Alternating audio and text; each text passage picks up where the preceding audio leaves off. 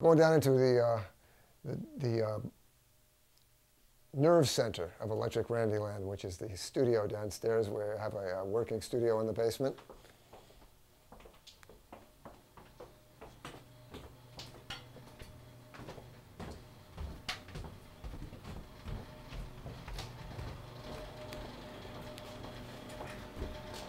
This, this pile of stuff here is Carmine Appice's drum solo from the Vanilla Fudge. I'm, I'm thinking of selling it um, with Carmine's blessing. I bought it from him. I bought all the Fudge stuff, guitars and amps and stuff like that. Uh,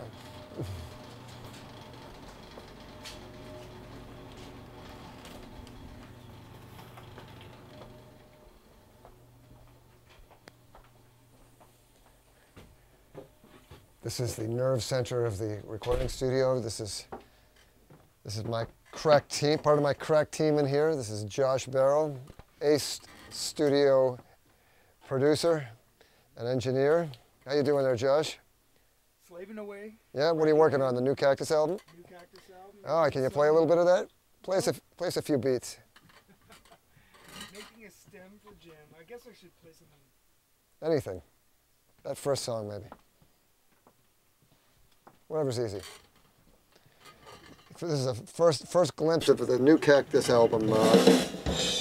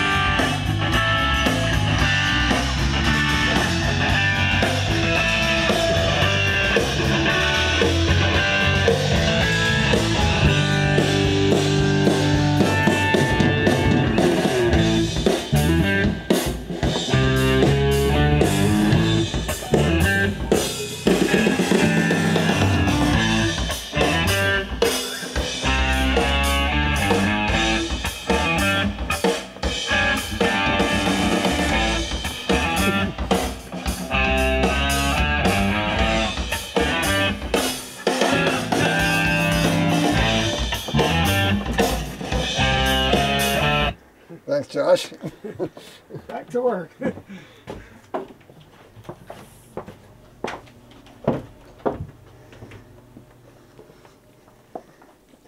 This is where we rehearse. All those bands we were talking about all rehearsed down in here. Um, Mike and I came up with the idea of painting everything green so we could do videos in here, and uh, I'm really looking forward to doing that with Rickety. We did, we did some before we were just getting started, just test videos, and you can put any kind of backgrounds in, and you know, and really it looks like a great 70s TV show.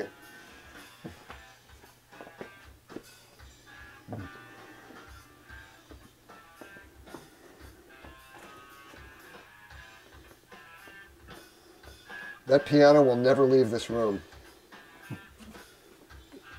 I bought a $50,000 Steinway Grand. My engineer had world-class ears. He went to the studio and picked the best one out that they had there. They brought it to the house and we knew we wanted to put it in the studio. They tried to, they, they had these five, four big muscular black guys came here, you know, looked like macho moving guys, and they came in, they tried to get it down the stairs. It was this far off the mark. We couldn't get it down. So they said, I was working and I had construction workers in the house at the time. So the guy said, "Oh my God, we'll have to pull the stairs out." And the guy, so the mover said, "Okay, we'll come back at nine o'clock when we get off work, and we'll try again." So they came back at nine o'clock, drunk as skunks, with the stairway pulled out, and they pulled the thing down. And I remember staring there, going like, like under the thing, going like, "These guys are going to drop the piano, and it's going to be splinters all over the floor, or it's going to crush me here." The piano came down. I swear to God, there was this much room on either side of the piano to get the piano down here. And now the stairs are back in. No way it's ever getting out of here. That's it. It goes with the house. Yeah, let, me, bring- let me bring a oh, couple of outrageous guitars out here. Oh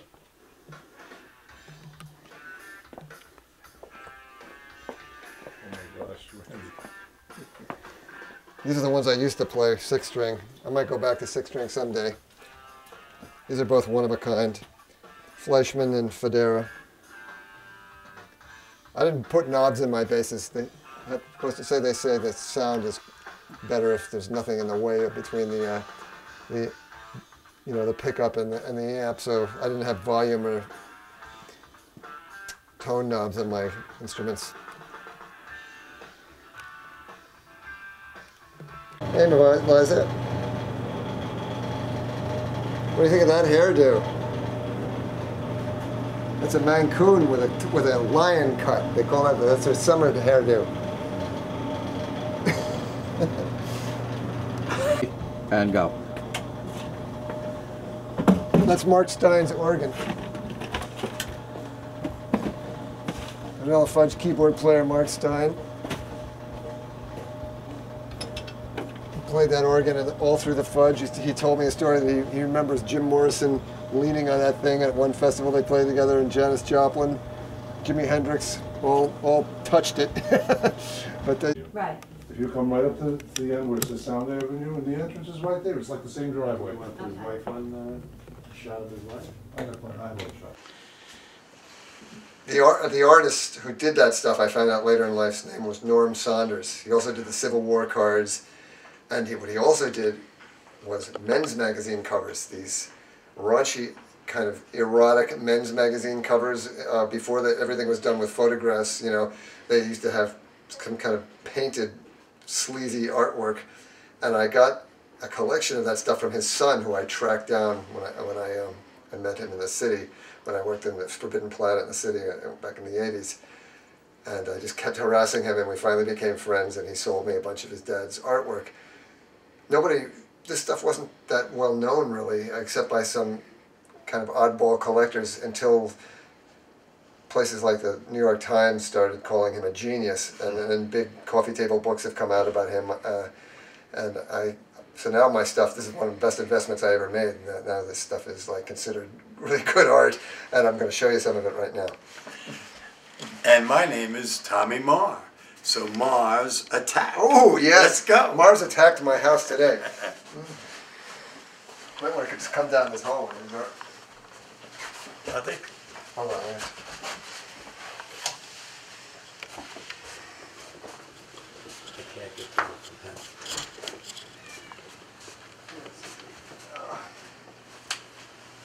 Ooh, look at this one. What do we got?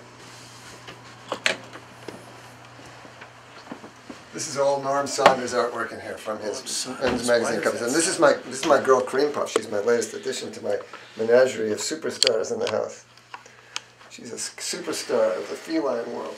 Mm, Somebody was gonna throw her away when they Wow. moved away, and I said, "Give me that thing." Beautiful eyes. Beautiful eyes. Cream Puff, Cream Puff. Yeah, these are all, you know, they would say like men's adventure here or something like that, you know, or, or ma- true, true ma- male, male adventure, you know. But you can see like, uh, who is that? Uh, the uh, red-haired actress uh, from, uh, Rita Hurt Haywood. no, no, from uh, Elvis movies and stuff. Oh, and, Ma- Ann-Margret. Uh, you can see Marilyn Monroe here and there. That was definitely a Marilyn Monroe one there. You know, and then you got these girls with 60s hairdos uh, in stockings and garters being tortured by the Nazis. I remember seeing that cover.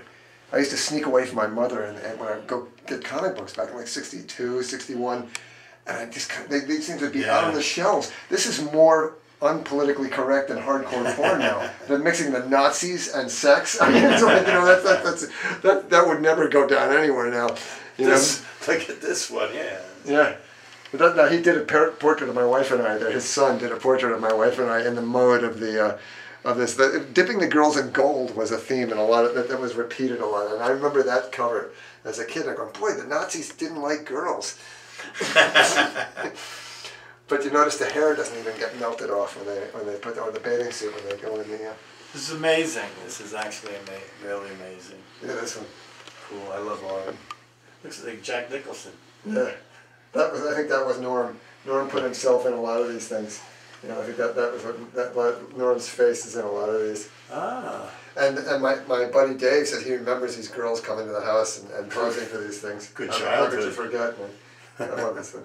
Two two armbands. You know, like like it's like the armband on a naked arm. I mean, you know, they have the mixed up the uniforms mixed up wrong, but it's all uh, basically the theme of humiliating these poor women. Hmm. Looks like uh, Heather Locklear in this one. Yeah. Wow. This is the uh, Mars Attacks bathroom in here.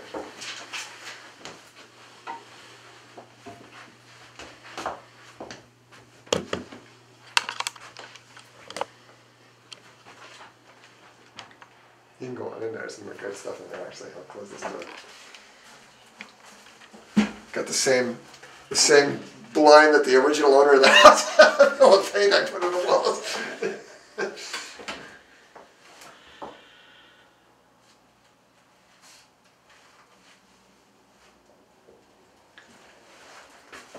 Got the torture room. Take a picture of yourself, Thomas. Who's that guy with the camera? Who is that guy?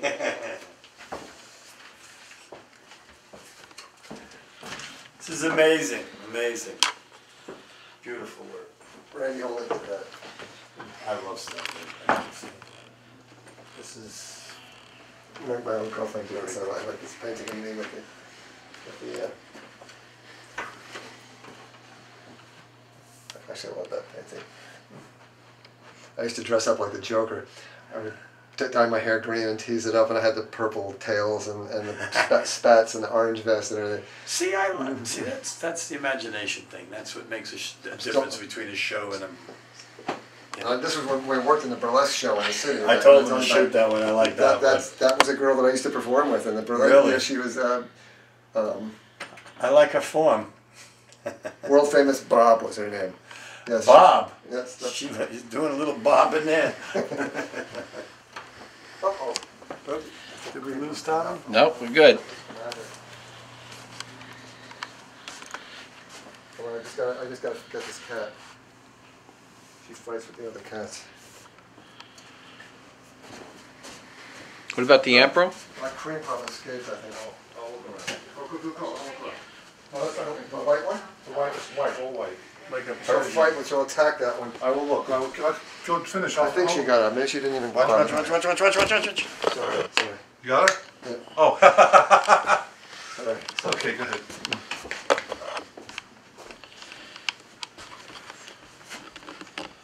This is the original Marilyn Manson. Tell me, talk. Look at this. Is this amazing? This is like, uh, this is how I dream most evenings. she's okay, she's in here. This is most of my dreams right here, see? I'm in my dream.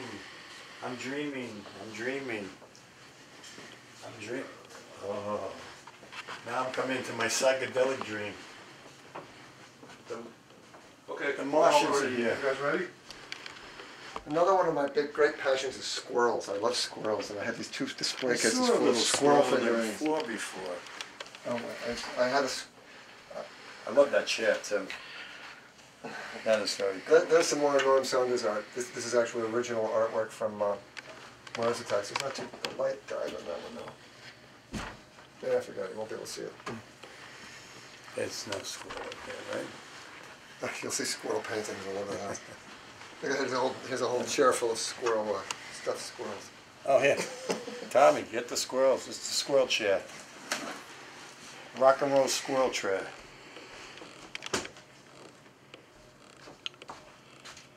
Very cool.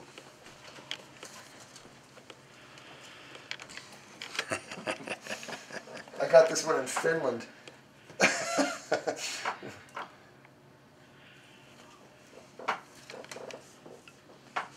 Very cool stuff. Very cool One of the more stuff. famous squirrels, Rocky. Rocky. There you go.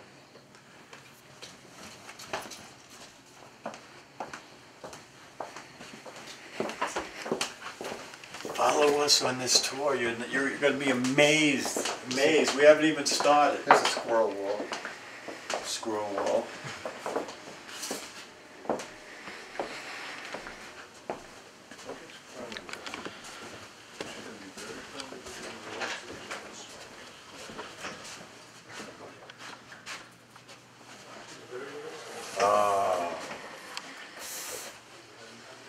Folks, We kind of call it, this is an electric Randyland. It's really not, not so much a home anymore as a barracks for wayward rock stars. Remember the Abbott and Costello where they had the uh, home for retired rock, for retired yes. uh, what was it retired actors or something like that? Well, this, Yes. this, this is the home.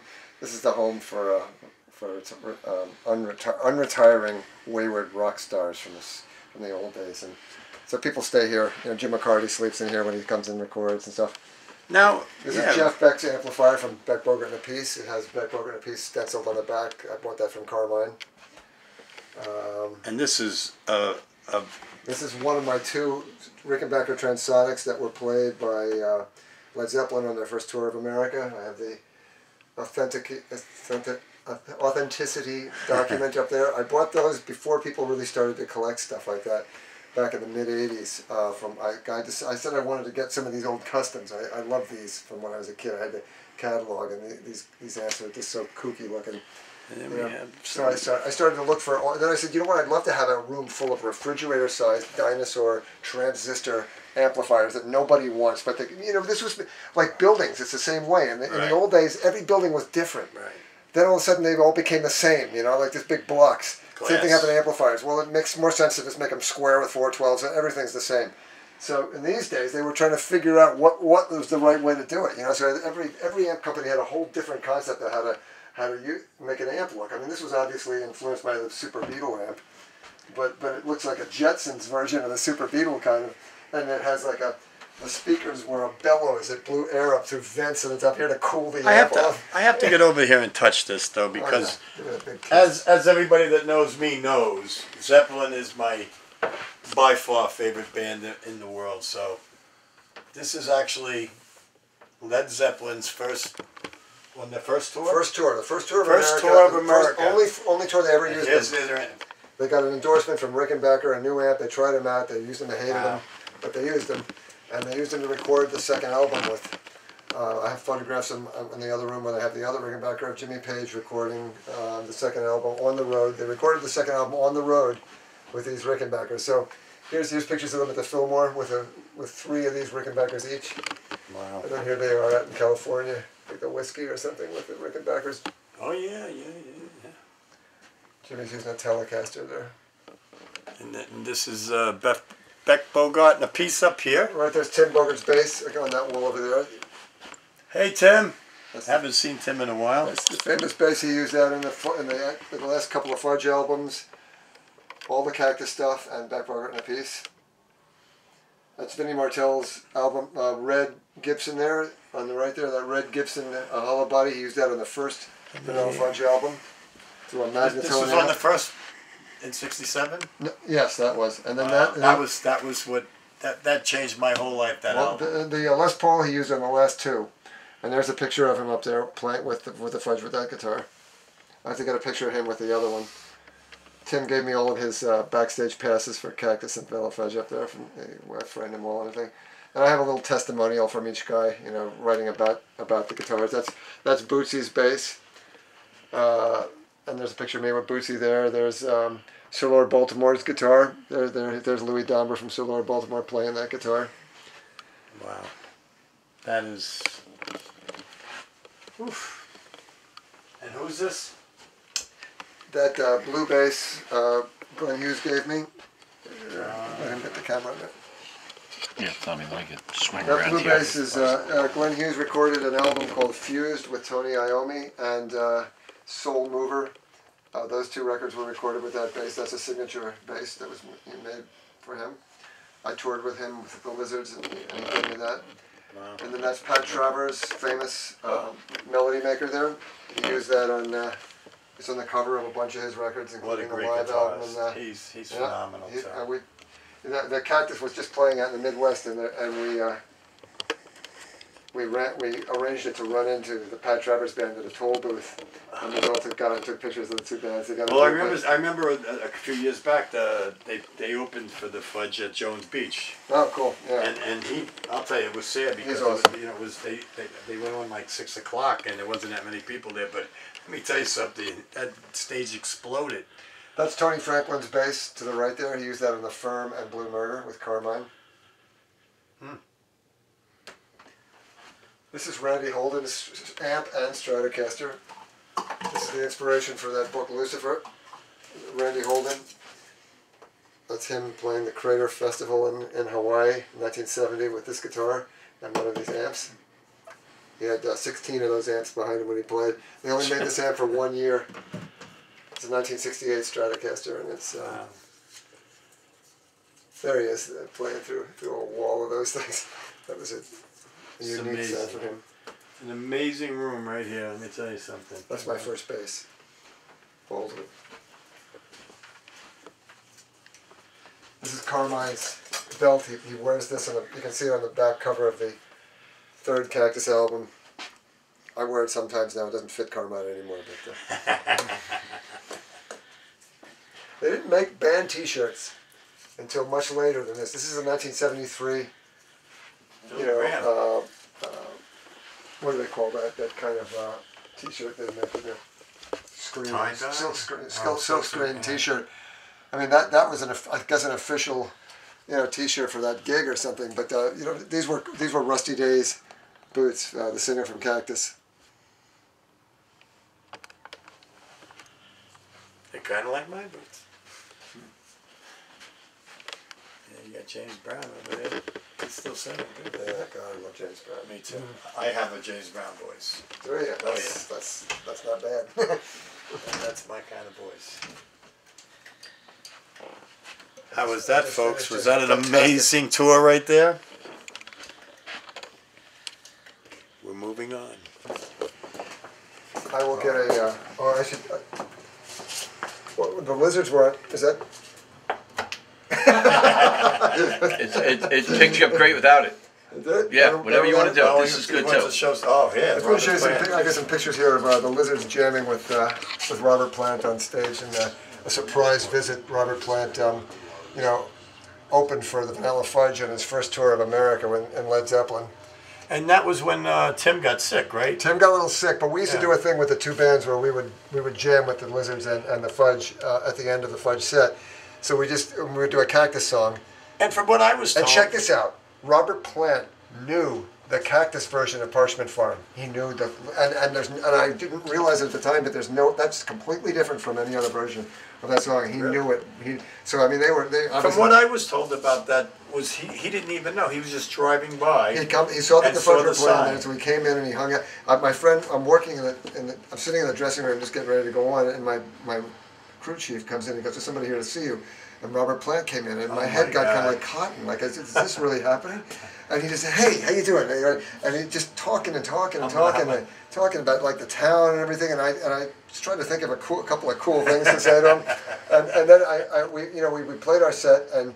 I was upstairs. And I got to peel off a, a, a poster. You know, this is the poster from the gig here from the town. Just to, Yeah. And, and Pat comes out and he goes, "Tim's sick. We got to go jam."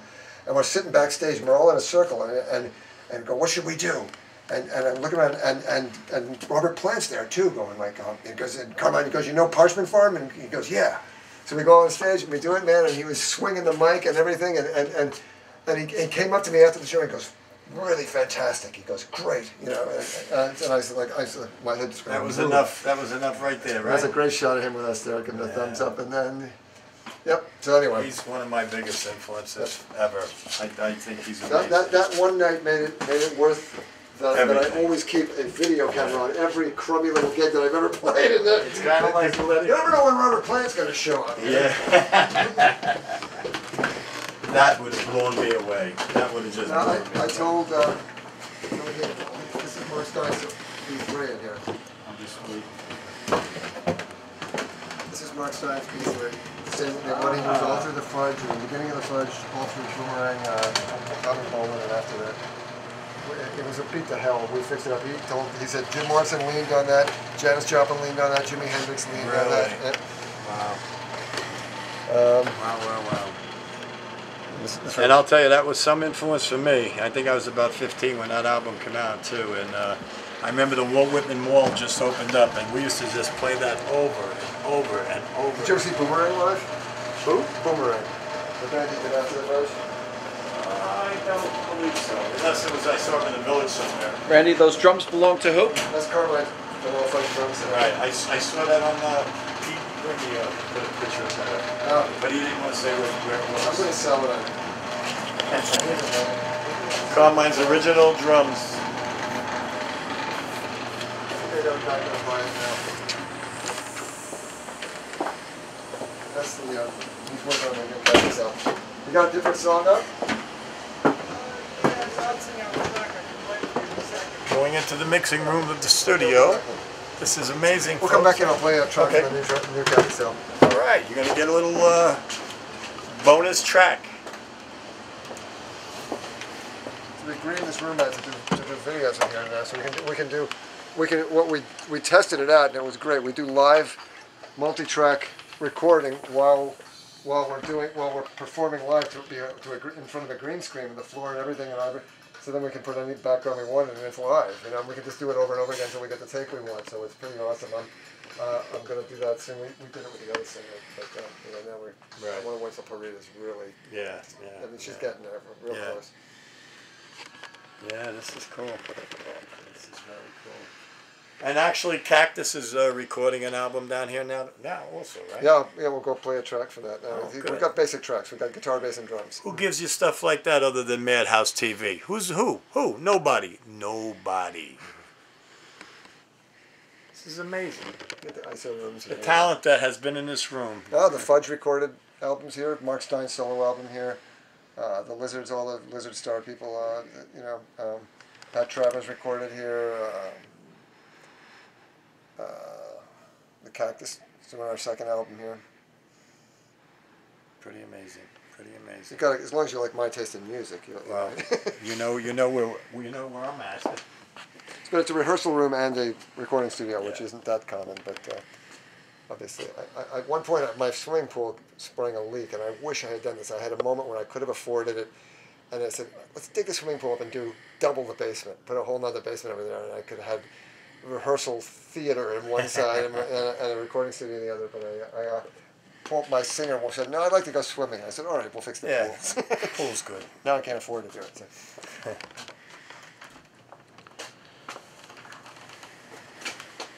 We're not stopping yet. There's more to go. Just letting you people know you are seeing something that no one gets to see. This is rock and roll history and the greatest rock and roll history you'll ever, ever come across right here on Madhouse. Coming into the control room. Uh, these are basic tracks for a new Cactus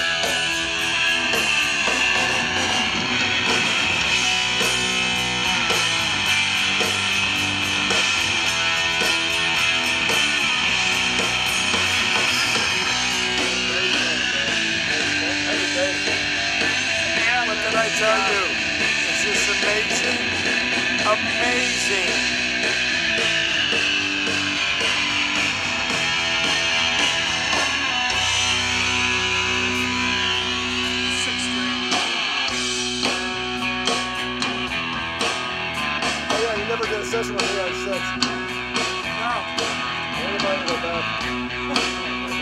inspiring you?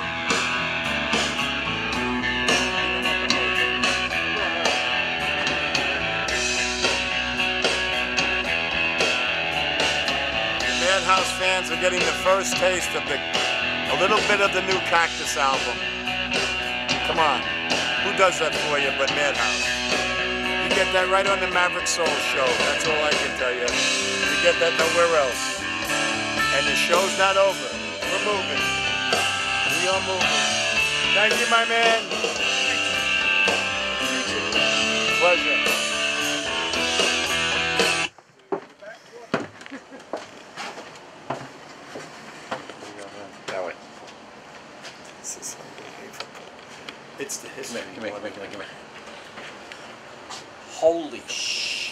All I gotta say is holy shit. You'll never see this anywhere else. Oh, I'll tell you looking that right now. What are you looking at? There we go. Uh-oh. All right, that's enough. That's all I, I can't. I can't play anymore. Right now. They changed the name of the band to Randy and the Guns. Come on. Come on, Come on. we're being forced. At gunpoint. That's a Bobby Rondinelli drum set. That's a Carmine Appice drum set. Bobby Rondinelli, a Long Island boy. There's his drums. And here's Carmine the Pieces. Uh, This is from his first album? yep. From the first album, which to me is one of the greatest albums ever, ever. Keep me hanging on.